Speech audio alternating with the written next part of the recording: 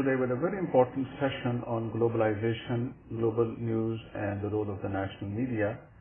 We just want to remind our, remind our viewers that we had talked previously about the new Muslim media, then we had a special panel on the new international media, and today we're going to talk about the possibility of a global media. When we say international media, we are still looking at nation as a unit and interaction among these units. Then when we talk about globalization and global media, we are talking about the whole world being a single unit and forms of communication and patterns of communication that are emerging within this unit. Today we have four very distinguished panelists to address those issues. First and foremost, we have Mr. PJ Mir, who is head of ARY One World News, and he is the head of Europe and US divisions. Then we have Ms. Inna Dubinsky, who is from Soviet Union, and now she is the host of a program called Talk to America, a Russian language program, call-in program that is listened to and talked into by a large number of Russians living in that country today.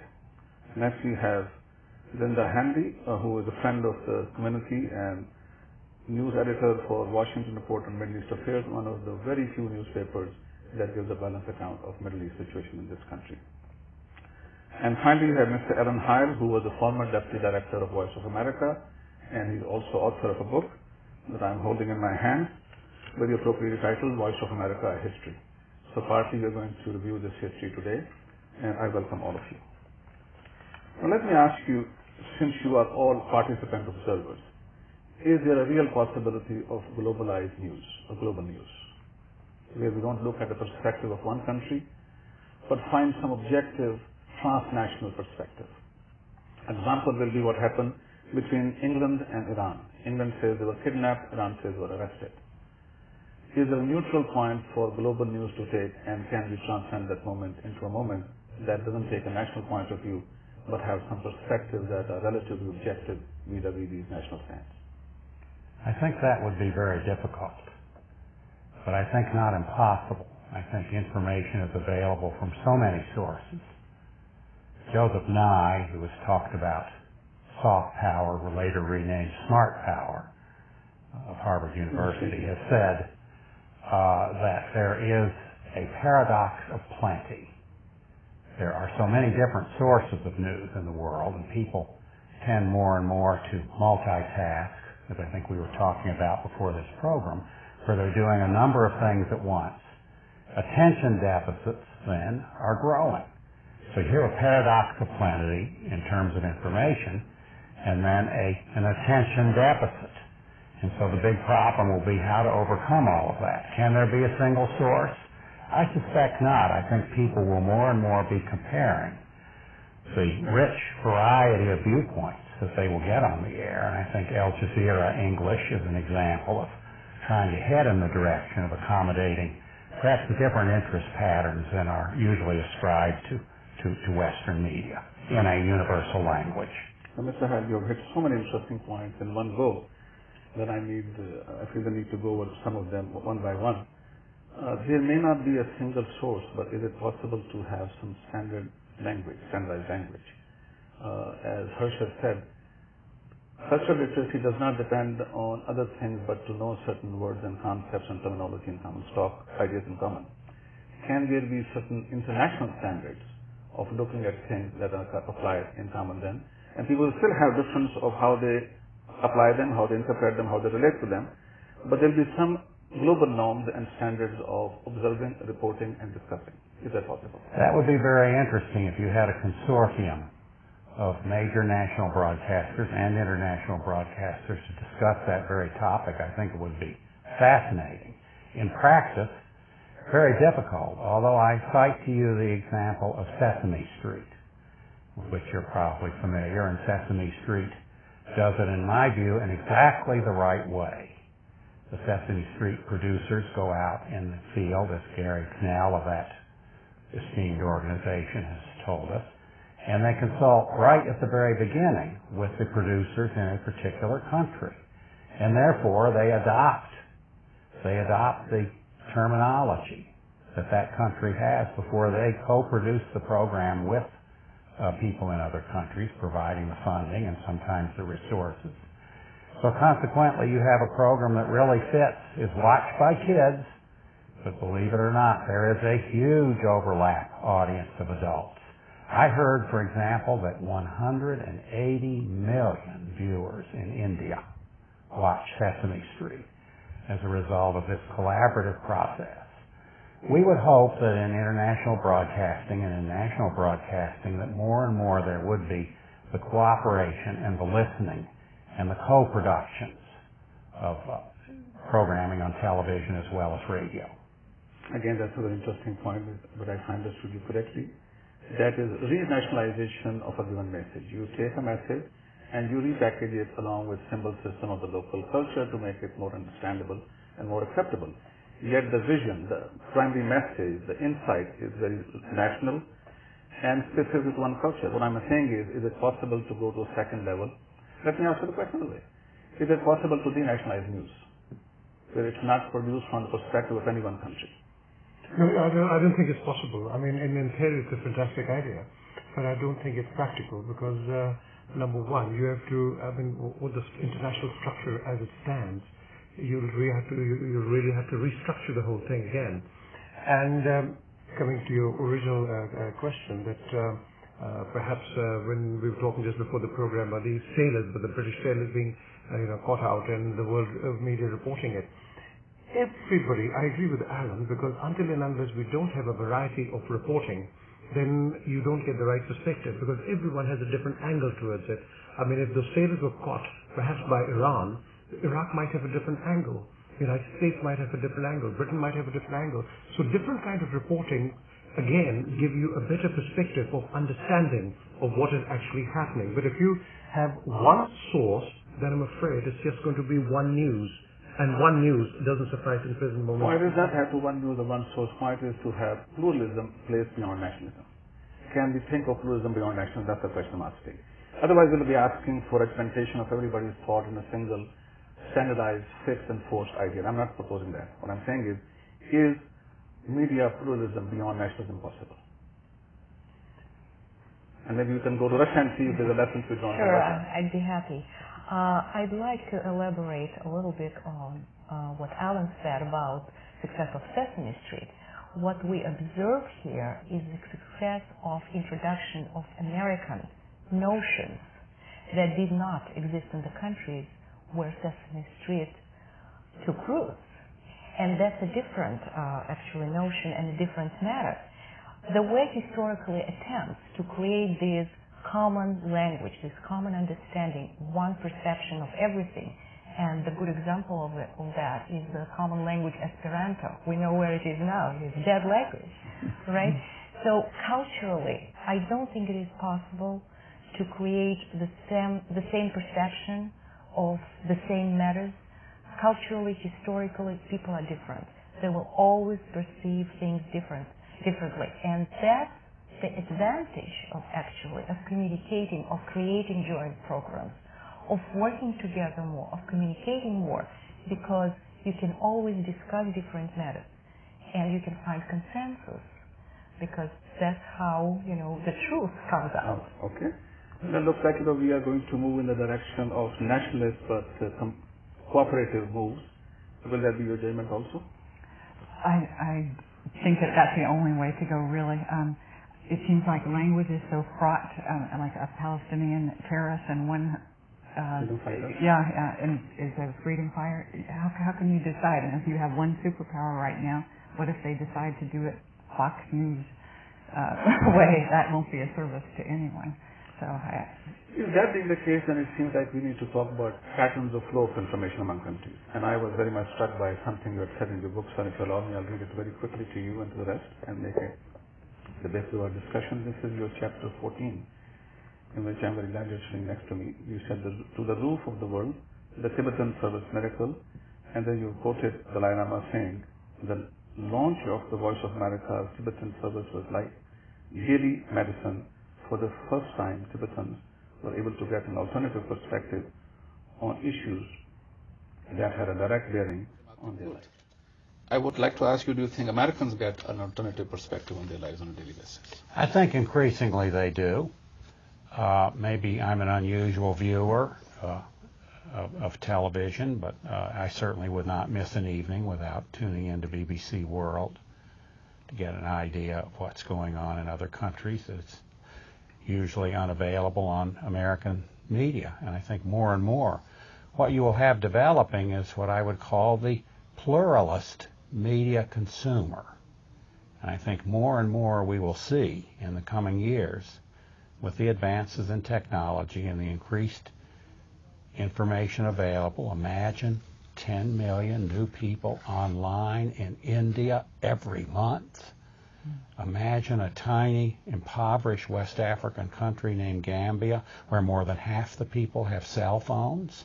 So I think more and more these alternative sources of information are going to become available within any given national information space. And therefore, increasingly, people will be better informed and will expect to get their answers from different sources than their own national media. Mr. Heil, I understand and I agree with that, but that is true of other countries. My question about the United States. For instance, if you look in Africa, now we have what is called three plus minus one language rule. People end up either with three languages or four or two languages. The United States is one of the few countries moving in the direction of monolingualism. If you should look at other countries which are relatively closed societies. U.S. made it its business to beam messages into them to open them to, to international competing pluralistic news.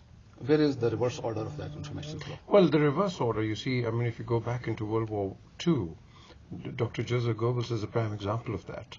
I mean, his broadcasts to the West were in English, and uh, he wanted to make it a point and Adolf Hitler, of course, he was following his policies. And then in the same breath, if you look down at Pearl Harbor, I think it was just a matter of, what, 43 or 49 days before the Voice of America started operating. And they wanted to, the Americans actually wanted to have the voice there outside as well. So this media war or communication war has started, I would say, in modern times after the uh, during the Second World War, and it has continued. And even in the Vietnam War, we've seen Ho Chi Minh City having their own, um, you know, radio broadcasts in English, you know, telling the American soldiers that you know you're doing this wrong, you're doing that right, and so on and forth, and vice versa. Voice of America retaliating to it. Now, all this has continued because where it matters, the universal language will be used where it really actually matters to home in a political point, home in an ideology. But where it matters as a general news, I don't think that is that is going to be effective. You see, if you look at, for instance, Iraq, or you look at Pakistan, you look at Bangladesh, people are listening to three, four, five, six, seven different channels. So the media literacy is far higher and far greater. And that is being guaranteed by programs like uh, Ms. Dubinsky's program, where there is a specific technological beaming in of these messages so people call and listen to it. On the other hand, I teach at a university, and I think I can give you some sense of my sampling of my students. They hardly listen to one single source. So what I'm saying here is, where is the equivalent of that open, globalized society where we say nationalism is not going to change or disappear anytime soon, fine. But even the context of multinational pluralistic perspectives, are they flowing back into this country? Well, I think one thing that is happening is that if you look at the proliferation of English language channels around the world, you have the Chinese now with a 24 hour a day website. You have uh, Russia Today going on the air uh, also with a 24 7 service. You have the Iranians expanding their service. You have even the French uh, with an English television service that's now up to eight hours and will be increased shortly. So there is a move toward using the universal language as a transmitter of a variety of ideas. And so that may be partly what you're asking in terms of the United I'm States. asking exactly that, but I'm also sort of not asking you to comment on the fact that in 2004 at the Democratic Party convention, when Al Jazeera had their banner up, they were asked to take it down. Al Jazeera, even of today, they have 98 million households worldwide. They have only 150,000 in the United States most of them through satellite system in the Dearborn and uh, Michigan areas. So why is when we are promoting competition in other countries by all these artistic means and uh, you know these technological means, we are blocking the same pluralistic competition of ideas and news sources in this country? If it can be done, because I think the thing that I've noticed lately in studying the media internationally is that Al Jazeera is on the website and more and more people, more and more web viewers are looking at it in video on the website, regardless of whether a station grants well, a license. Heil, that hardly shows us the openness of the society to a competing idea. What would you say? they're not permitted to go on the airwaves, and, and that is ridiculous. So there is a Russia-like, you know, ban on the flow of news into this country. What we are saying is they should let, the principle is wonderful, let there be free flow of information in all directions. Well, there is actually freedom for this flow of information. Russia today is not the only example of penetration of Russian media in the United States. They do Pardon have, me? well, I can tell you, they do have monthly or even weekly editions of Russian newspapers in the Washington Post, in New York Times, so you can read a lot of Russian, you know, perspective of world events or of events in Russia itself. Now, a lot of Russian channels now are working on having their satellite broadcast here in the United States. And Americans are open-minded to that. Russia is blocking American uh, broadcast. It's a different matter. Russia but nobody is blocking Russian broadcast here in the United States. That they do true. have Russian channels That is here. true, but and not only Russian, by the way. You can watch Arabic, you can watch, uh, you know, in French, you can watch in German, any languages. If you have cable television, well, I understand it's not that democratic. Some people do, do not subscribe to cable. But if you do have cable, you do have access to a multiple, you know, to a variety of languages. Even cable actually. has not given access as yet to Al Jazeera English, all right? So the first channel that has truly started to compete, located in a different paradigm, BBC is located in the same para- paradigm. This was the first major channel located in a different paradigm has been blocked. So I think this is where U.S. is failing to live up to its own ideals and principles.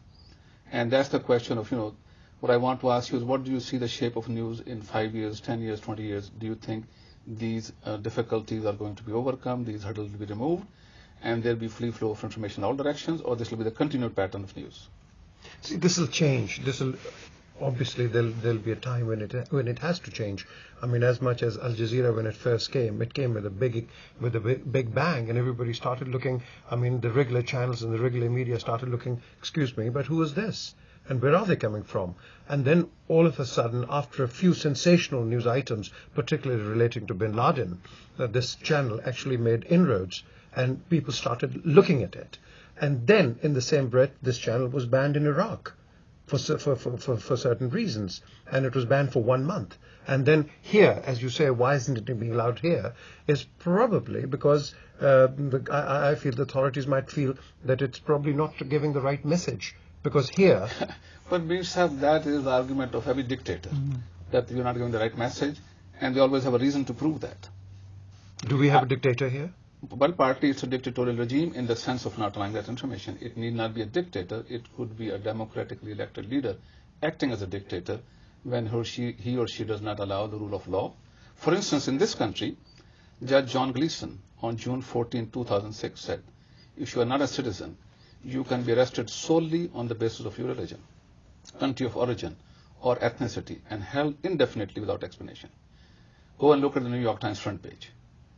David Cole has filed a suit against that. He has not been able to get it overturned. When in the United States a judge says you can be arrested for being a Muslim indefinitely without explanation, that's the definition of fascism. So US is because it mistreats people and has dual standards. But that happens everywhere in the world. But doesn't make it right, does it? No, it certainly doesn't. But at the same time, as we say, see, we are coming out. I mean, our minds are developing. I mean, today we are thinking about the same world where we were fighting each other, and today we are calling it the global village. So the mindset is changing, and the mindset has, I'll say specifically, changed probably more after 9/11. And prior to that, nobody was even willing to uh, think of a change because everybody was so set in their own uh, views uh, whatsoever. Then all of a sudden we see this new change in the in the global order, and I think Well, that- That's a fair enough argument, but I think the global village makes demand on us for being the global village. There are certain expectations if we are going to look at the whole globe as a single unit. Then there are certain expectations in terms of knowledge production, news production, news reporting, and competing systems of ideas. If we can't go beyond nations, then there has to be a uh, sort of you know, equitable distribution of news among the nations. Yes, but you, you, you, still keep your own identity. I mean, you have again a, a prime example, even when you speak of the global village of the European Union. I mean, European Union, they're all the same, but at the same time, the media in the Union works independently of each other. No, I'm, not, I'm not asking for a single, please, excuse me, I'm not asking for all media to become one and there should be one single news item. No, I'm not saying. I'm saying two things. Can we go beyond national perspective on news? If we can't, then can we make sure that flow of information every direction is open? No, I don't think we can go beyond because every country That, has that will be granted. That will granted. So now the next question is, can we have equally free flow in all directions? I'll tell you, I think the internet is going to provide that free flow. There, if you go to googlenews.com, you have access to 4,500 newspapers around the world. And, and that's And the blowing choice is the yours. doors open. Choice is yours. exactly. And besides, technology develops in leaps and bounds. We don't know what will be invented tomorrow besides internet. Because there might be ways found to block internet access. And these examples we do observe in China or Russia is planning a new law now. But I wanted to comment on your definition of America as a democracy and as a fascist state. I disagree with that. Please. Democracy is not a final destination. Democracy is a process. And certain individuals do make mistakes. But the democracy is when we have checks and balances, when we can tell the judge, judge, you are wrong, and there will be certain mechanisms, certain tools to show him that he is wrong and to make it right. And I think that's what America is about. And again, people do make mistakes. And there are cycles in American history. And one of the very best checks and balances, to borrow Inna's term, is called an election. Exactly. Now, And it may be very, very possible Mr. that because, Go ahead. It may be very, very possible that because of 9-11 even, and the realization on the part of the large body of Americans that what happens out there, what happens over there is important. That it may be that you will have, uh, in the next election cycle, uh, a president that's far more attuned to the needs to have a conversation with the world and not just speak unilaterally to the world. And I think that may well happen. And I think that will have reverberations in the judicial system in the United States and certainly in the way Americans receive information. Mr. Har, I feel the need to ask you a question on behalf of people who may think differently the following question. I think there's little too self- self-serving understanding of the history. There was not a single election in this country that could change slavery. There had to be war.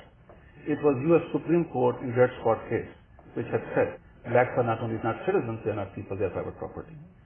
There was no legislature that overturned, overturned that. There had to be a civil war. In 1896, Plessy versus Ferguson said, separate was equal and therefore constitutional. It was the street power that corrected the state power. So what I'm asking is, is it going to be simply the goodwill of the people who rule when they change their mind, there'll be a different way of dealing with people? Or there has to be a critical analysis of these practices by the civil society and the live street in this country. As we talk about Arab street, I'm talking about American street, has to be responsible for American street to look at not only these causes, but free flow of information. Because my concern is, when I look at the flow of information, that Americans, good people, are getting such one-sided information, they are bound to come to one-sided conclusions. For instance, in terms of Iraq, let's look at the multiplicity of sources, how many sources are cited here. And I think Chomsky has repeatedly documented New York Times, the best publication, in terms of the one-sidedness of their news. So what we are accepting, I'm accepting American principle as best principles, but I'm saying are we honestly applying those best principles to ourselves in terms of open, multiple, competing, pluralistic close information, where we see people competing in terms of understanding and interpreting our history. That's the question. There is a balance to it. Blogs. You can learn truth if you perceive it differently from many blogs. Such as free access to information, you can't hide anything. Don't you agree with that? I do, that, and that I think is a of hope, as was said earlier. But I think that does not exonerate the television, the radio, and the newspaper from their responsibility. Blog is instead of them, not in, in place of them. You know, it's like a separate avenue that opens up in a small way, and very few people join a single blog.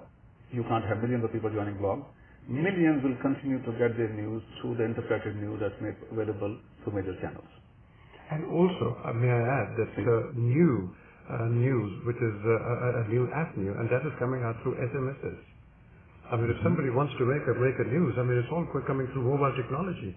I mean, no matter where you are. And uh, that, that that's a new avenue which I, I, I, I fear is going to be used a lot more. I will not fear it. I will welcome it and say, I hope it's going to be used out more, but these are tangential possible means that may rectify, all right? What I'm asking is, in the world, the United States for the foreseeable future is going to be the leader, and people are going to make decisions that are going to affect hundreds of millions of people. Are we saying the flow of information is judicious and fair, back and forth? See, it's a, it's a, it's a very difficult question. I mean, when we when you go back to the to the times of the slavery, there is more slavery now than there has ever been in the history of mankind. There are 27 million children are in bonded labor. They're in slavery all over the world, and yet nothing is done about it. So, the news faction, you know, wherever you drive it, wherever you take it, I think we have to see it who's doing what and what are, what are your priorities at this at this present or at any given moment in time.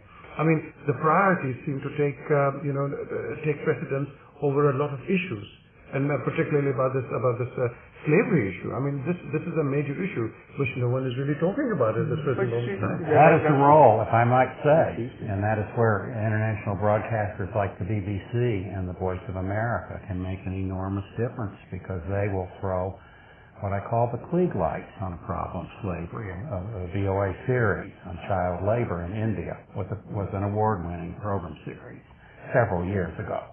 If we continue to base a lot of our programming on the need to be, as I say in chapter 18 of the book, Voice of America, a voice for the voiceless. And that is a very, very important quality. And if we are that, and truly that, then we can begin to at least illuminate a different perspective, not only in our own country, but abroad. And in our own country, you can see things opening up in the United States because now people can go to voanews.com and they can avail themselves of much of this very, very rich information that nobody seems to be much aware of in the media. But eventually all of this is going to come together and you will have, because of the now, the paradox of plenty, to go back to the original phrase, you will have the traditional media, I think, having to react. They're going to have to start to cover things that they are now not covering in order not to disappear.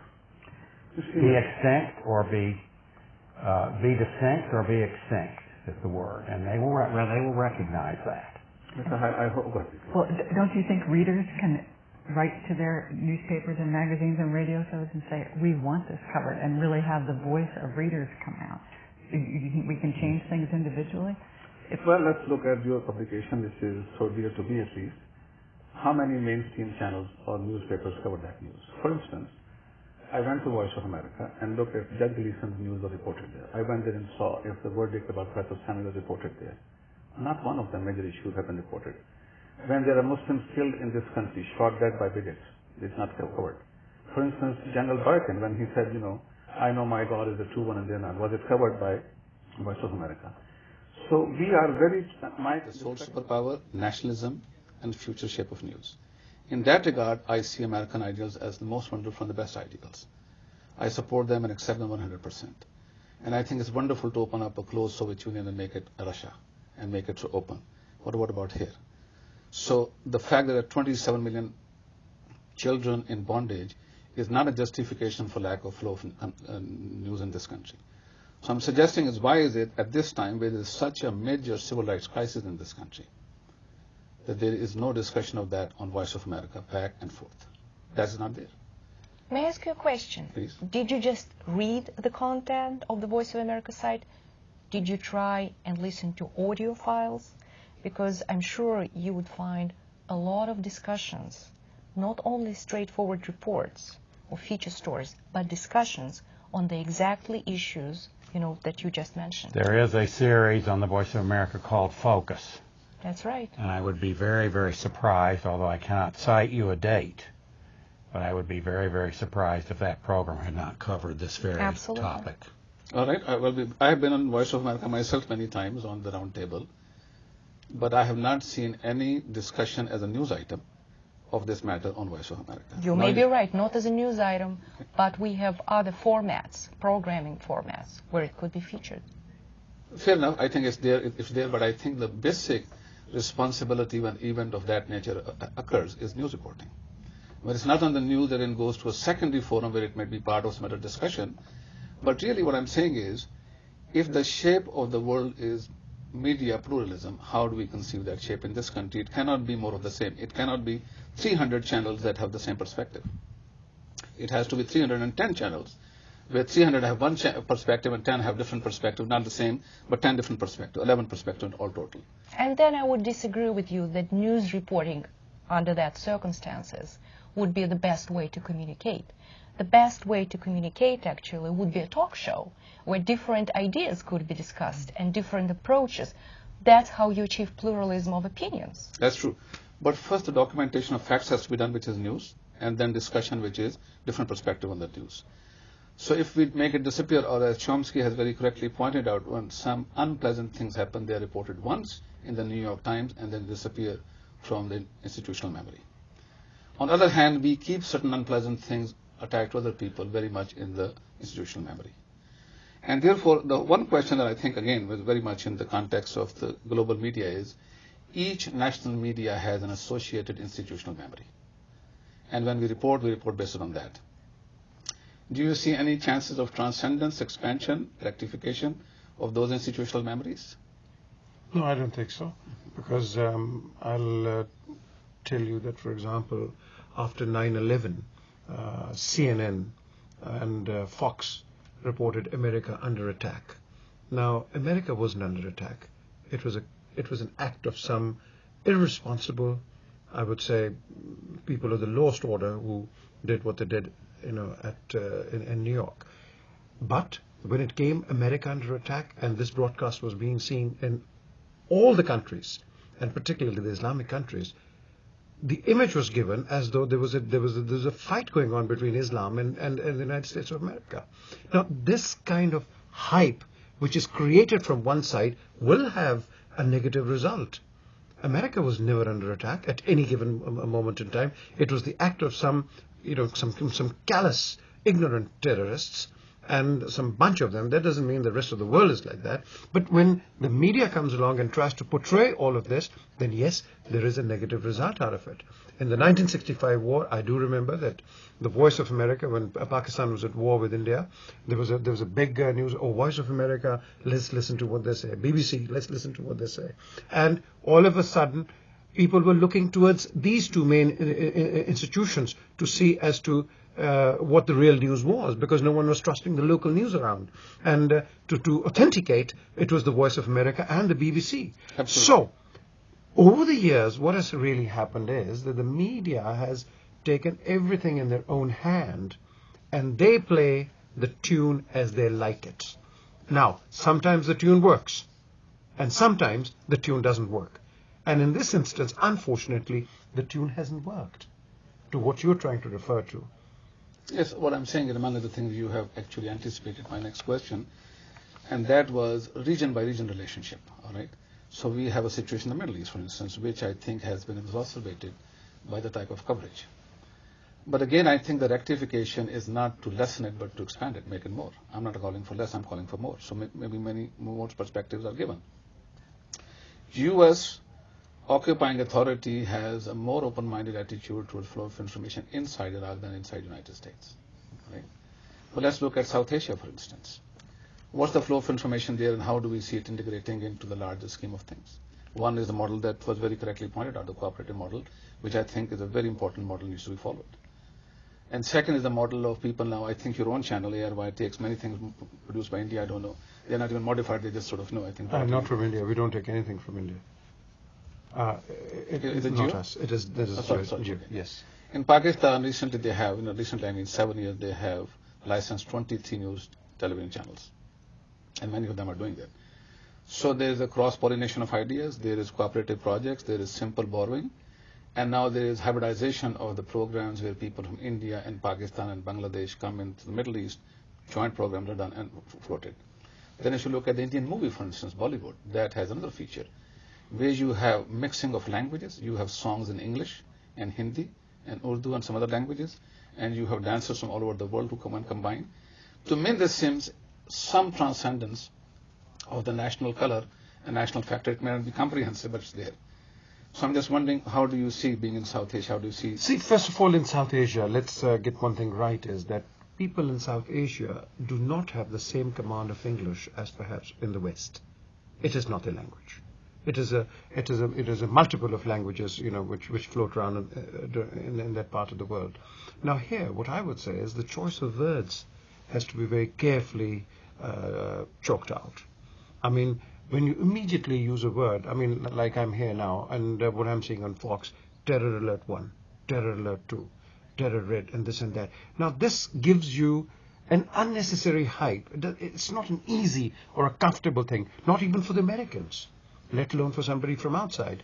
So it gives you a very uneasy feeling. Now, these are the kind of words which should be carefully uh, sorted out, thought about, and then put out.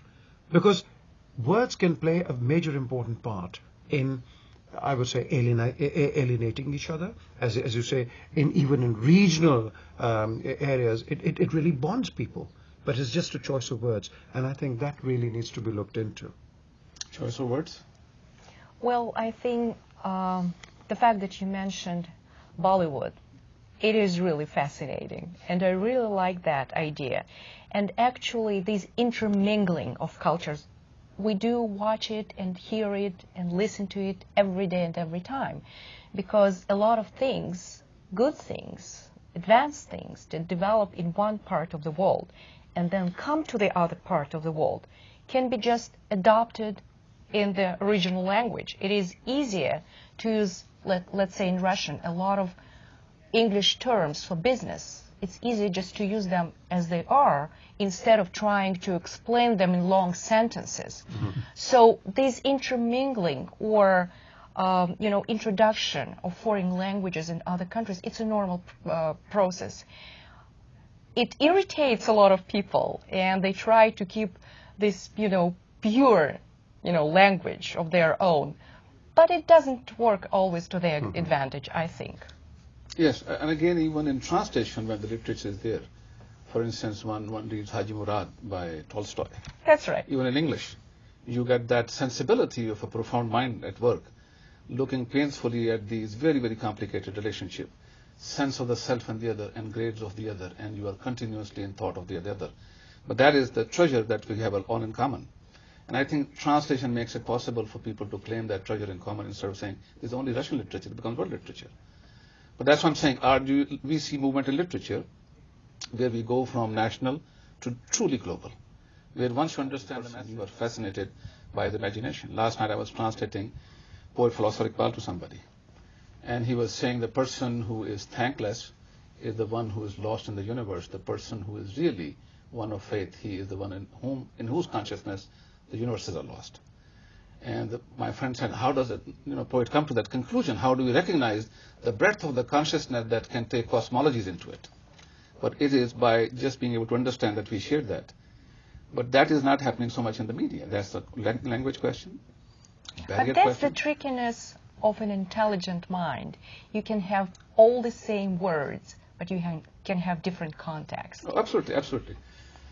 But I think it's again not to say that everything is going to become one, but continue to look at the progress. This is a progress report uh, in a way. You know, we're looking at our own progress or lack thereof and say where have we come so far in terms of language, in terms of content, in terms of design, format, addresses, addressee, all of those things, and what changes have taken place, what changes need to take place.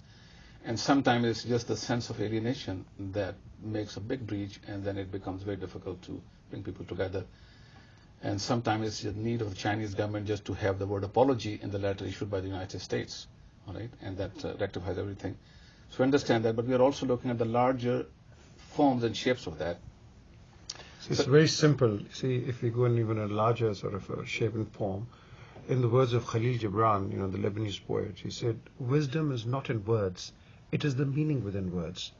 And if the meaning is simple and straight, the message homes in much more quicker. And that is the need of the hour.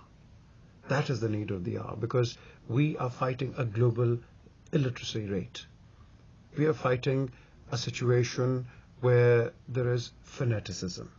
We are fighting a situation where there's extremism. We are fighting a race where there's poverty. We are fighting a race where there's unemployment. We are fighting a race where there's not enough food in the world. And I'll be fighting no. those fights. Yes, but, no, but, but, but this, this, is, this is what I'm coming to. We need to be explaining to people in the simplest possible of manners, rather than taking them to Timbuktu and then coming back in and putting in the same thing. We've got to be absolutely straight to the point, make it simple, people will respond. Well, you see what you said earlier, the list that you gave very eloquently is the list that Willy Brandt in his book North-South, A Scheme for Survival has listed, and he has said for each tank bought, how many primary schools can be built. But they are not being built. We are buying the tanks. So therefore, the discussion of tank and school has to be simultaneously there. Gibran also said nobody could make me speechless but one who asked, who are you? So words and words of self-identity are always going to be there and one has to look at them. One of the problems that I see in the United States, which is by Charles Taylor in his book on multiculturalism, he says, it's very easy for us to agree that we are all equal politically. But we cannot agree that all cultures living in this country are equal. And that creates a big question of larger unity within the country. And he quotes one of the writers, he says, when the Zulus produce their Tolstoy, will read him. Now, many people have commented on that, that says that is a Eurocentric view, first of all, to think that Tolstoy is the ultimate author, and then to think the Zulus have not produced one, and then to be the judges of whether or not they have produced one. So this is not the question of equality of a person on the street as individual. It is the equality in a multicultural, multinational society among groups that has to be reflected on. And therefore, not only the word, meaning of the word is all, all, always sort of su subject to speculation. How this speculation ties back to identity is all the question. Group identity, individual identity. And you, my friend, are not only the one reporting the identity, you are some way also shaping the identity. I'm awed by your power, and I ask you, how are you using that power? See, whenever you're in that driving seat, I mean, the seat where you're sitting in is a very powerful seat. And this seat can do a lot of good and a lot of damage. Now, again, as coming up to, as uh, what the lady said, I think it's up to uh, programs like this, which can shape people's minds. Now, if we talk positive, then there will be a positive image giving outside, uh, being given outside. Now, if we go on the negative side, there will be a negative image, and then there will be further negative thoughts coming out. So I feel that, you know, when I am perhaps sitting in that chair or something to that effect, my aim and my job is to make sure that we have to be the eternal optimists. But I hope, I hope we are not confusing critical with negative the difference between critical and negative. No, but we can even make the critical into a positive. That's the ultimate outcome of its process, you know, because think and then we lead to the positive. So I hope what you do, and I see you doing it, is being critical, and then positive is the outcome that people develop on their own. And this is the whole group is here to learn. And let's take, a, you know, I think we might ask Mr. Dubinsky, what are the lessons we can learn from you for the globalized village that came out of Russia or Soviet Union? From the Soviet Union, it's been a long way and it actually developed in a very positive way at first. Uh, the very famous Russian uh, comic actually said that it was interesting at some point after the Soviet Union collapsed. It was interesting, more interesting to read than to live. So uh, it was really open society. It was becoming open society.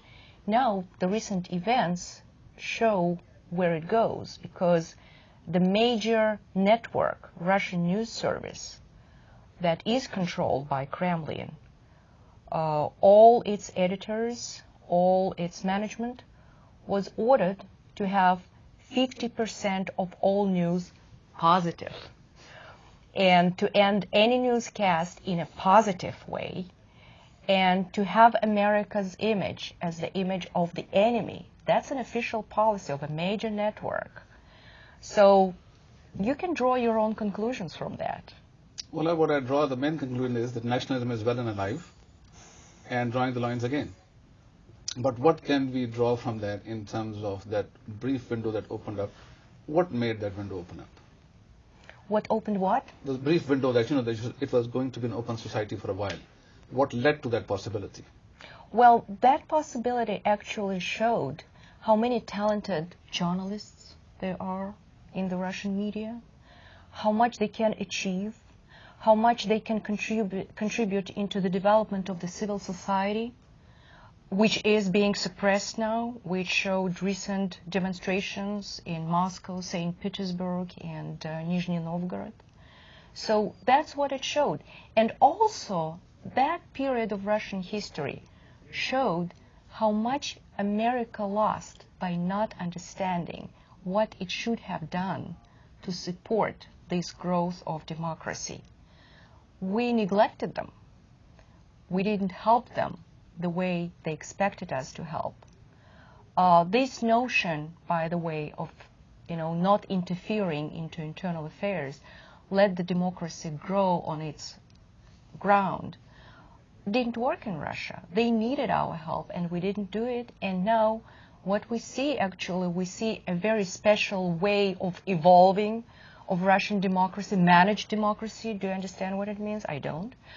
so and there is no special way for a democracy. So this, this period in, in, the development of Russian media showed that there is still hope. I believe there is still hope, and I am an optimist in that regard. But currently, um, maybe you know elections will change something, but there is not much hope in that regard can, because everything is being dictated from Kremlin. Can I wear, wear an optimist's hat Absolutely. for a moment? Please I mean, there are two things that have happened recently that have uh, struck me. Have you heard of the responsibility to protect? And that's a UN doctrine. Here you had a rather, and I think most people would call it dismal session, the World Summit of the United Nations in 2005 and a lot of the rather more constructive elements were discarded and watered down through the intervention of various parties, the United States and others. But they all agreed on the basis of Darfur, of the Rwanda genocide, of the events in the Balkans, they all agreed that for the first time the international community had a responsibility to protect citizens in another country. The first time that the wall of sovereignty erected in 1848 was broken and chipped back a little bit. Now that says to me that there is a broad awareness and support among both the Western nations and the United States and other countries of the necessity of trying to intervene and rescue people who are in dire need or whose entire civilizations are at risk. That would be one view of an optimist. A second view would be the satellite bouquets. And when I say satellite bouquets, I mean I was driving with a chap who has the XM radio, and he had subscribed to a service of international stations. And in the space of 24 hours, he could hear all of these different viewpoints and the programming of all of them and arrive at his own conclusions, weigh one aspect against another aspect, one viewpoint against another viewpoint. It seems to me that technology, along with a growing awareness of the world on the part of many people, and those who are subscribing online, and as mentioned earlier, the SMSs and the podcasts and YouTube even, although I say that with some reservation because it's not altogether a public good.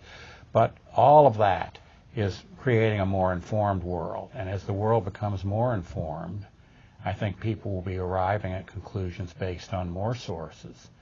And I think the trajectory is only higher than it was 10 years ago. And I imagine in Russia even that could be a factor, although Russia is tightening up the flows of information into the country. I can't believe that somehow, as the street demonstrations of late have shown, that there is a latent desire not to leave the world entirely, despite the, the uh, authoritarian, increasingly authoritarian Kremlin that we see today.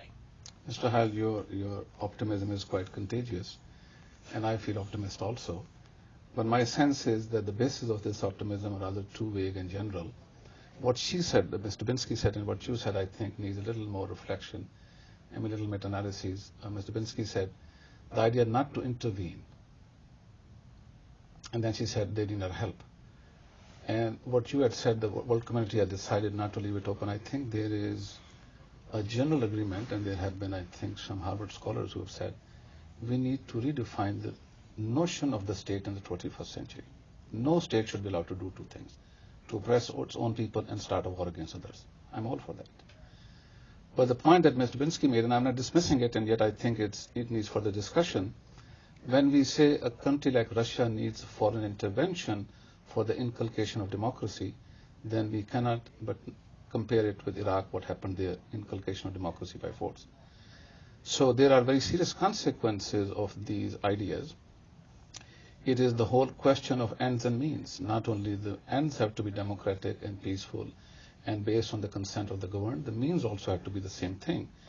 So when we say we will not allow, for instance, none other than Henry Kissinger in his book, Does America Need a Foreign Policy, has said, U.S. should not submit itself to the inter- universal jurisdiction of the International Law, Criminal Court, International Court. So then we are saying everybody else will be subject to that kind of intervention except us.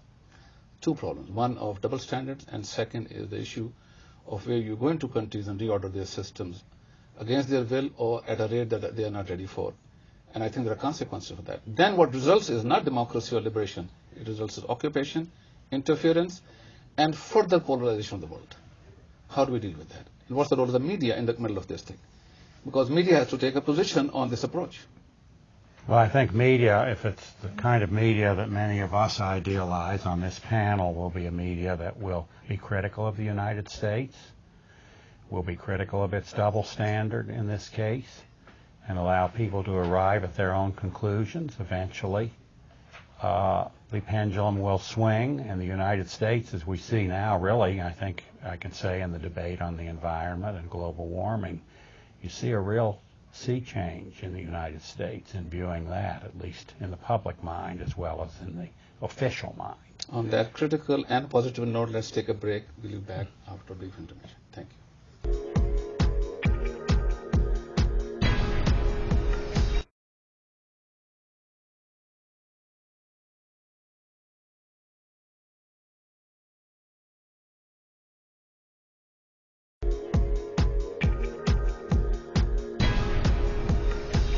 Delinda Hanley, uh, you have a unique perspective on news within the United States. You have a small publication that speaks unofficial truths. Tell us what's your experience and what can we learn from your experience? I am very worried about our U.S. media. I, I see um, the media becoming tabloid news hype um, and not talking about important things like Dr. Sami Al-Arian's arrest and all the things that really matter to our human rights in this country. And I'm very concerned unless um, newspapers and magazines are allowed to talk about these things, and and this the television is just it's turning into tabloid television instead. So I'm more worried about U.S. media than I am about international media. I think when I travel, I see people overseas know so much more about our politics than Americans know. I think we have a very informed global community, and we have to work on this community in the United States. And I think partly that can be just very quickly reviewed by looking at the format of international news on ABC or CBS or CNN, and we can see how much general international news is there. But let's end it on a positive note because that's the end result we want. Uh, we'll start just any direction. Anybody can jump in. You know, what is the what is the shape of news we see in one generation, 25 years? And what do you think will be the nature of flow of information globally, in your judgment? Anybody? See, it all depends. Like today, as you say, 25 years on, the world is a changed platform. And uh, we call it a global village. Today, I feel that uh, the media, if it has to play an important role, it can certainly play an important role by being absolutely targetive. And by that I mean, for example, they have to go after policymakers the actual policymakers. I mean, for example, uh, one Mr. Wolfowitz, who's uh, deemed to be seen as the architect of the Iraq War. I mean, if somebody had just targeted him and started putting questions to that moment in time, things might have been different, because then perhaps he might have advised something else to the president. So we need to target such important people that, excuse me, before you come out and uh, with some sort of a policy, which might be good, which might be bad, but let's work it out in the public domain. Let's discuss it here. Let's talk about it. And then, fair enough, do what you have to do. So that is the line I feel that the media, international media, should be doing throughout because they are the people who really matter. More discussion, more critical analysis. Yes. Well, my vision of the future media, because I'm a strong believer in democracy in process, is that commercial media will be declining and national public media will be re-emerging because national public media can bring to the public what it actually needs and strives to learn internationally, locally, nationally. Commercial media shows and tells what sells. Mm-hmm. And national public media does what journalistic integrity and uh, pluralism and um, you know unbiased approach takes. So that's my vision of it. Just to understand correctly, Ms. Dubinsky, will this national public media be funded by taxpayers? I believe so, because democracy in process means stronger civil society, and as people become you know more powerful financially, socially, emotionally, in all regards. So they will be more willing to fund what actually speaks to them, the language and the content that they would like to hear my, or my, to my, see or to read. My question is, won't that turn journalists into government employees and create a consequence of its own? It's not the government. It's two different things. Public and government, it's, it's different things. All right. Is it like Voice of America is public or government? Voice of America is the United States federal government radio and TV and actually internet, you know, multimedia station. It is being funded okay. by U.S. Congress. We do not depend on any, uh, you know, secretary or any ministry or any agency. We are a separate entity, but it is still funded by U.S. Congress. National Public Radio or National Public Television, you know what the source of uh, its life and well-being is. So it's different things. Okay, that's a very good distinction. Thank you. Thank you. And I would hope that citizens pay more attention to the media and fund media themselves and, and complain to the media when they see something wrong or that they don't believe is correct.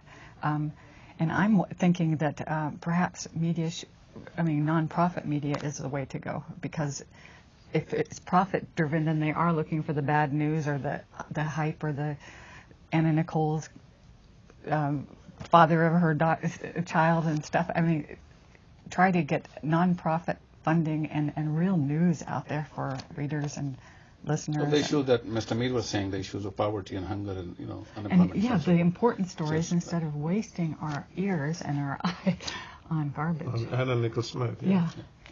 So absolutely, absolutely. I agree with all of the panelists that uh, information and journalism has to be a serious pursuit.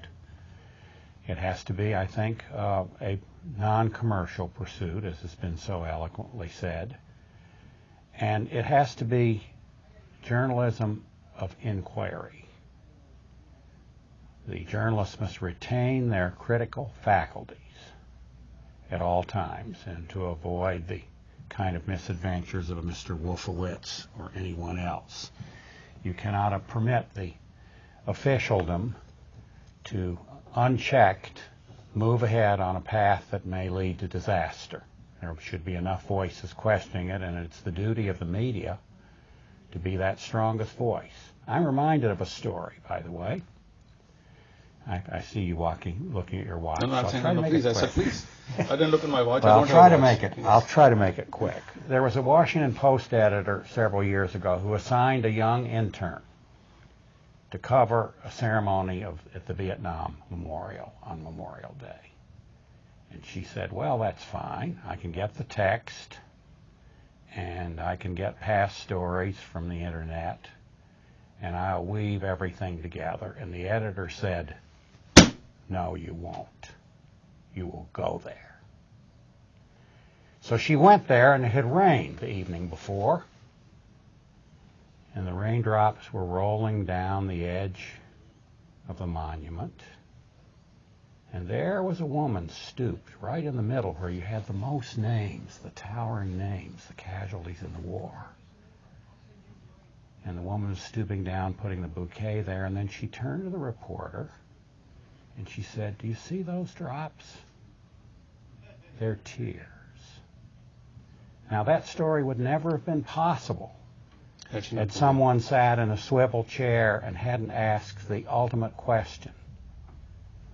But I submit that any reader of that story will remember it 10 years from now, and it will sink into their consciousness, and it will certainly enhance the human spirit. And that's what it's all about enhancing the human spirit through information. You are such an eloquent storyteller, Mr. Heil. It's a pleasure to have you. I've been in this country for now 35 years, and the longer I have lived in this country, the more I have fell in love with the ideals and principles of this country. And the more I have fell in love with the ideals and principles of this country, the more I have felt the need to stand up for the principles, to challenge authority, to think critically. My teacher, Arthur Quinn, used to tell me that the freedom of expression is not based on the obligation to be right, but the, but the latitude to be wrong. So freedom of expression, pluralism, multitudinous attitudes, multi-perspectival writings, all of these things are that make a civilized community. This is a discussion from a loving heart but with a critical eye of looking at America itself. While it shows light to the rest of the world, it must also see the same light. It must open up and it must end oppression of Latinos, of Muslims, of Arabs and other communities in this country.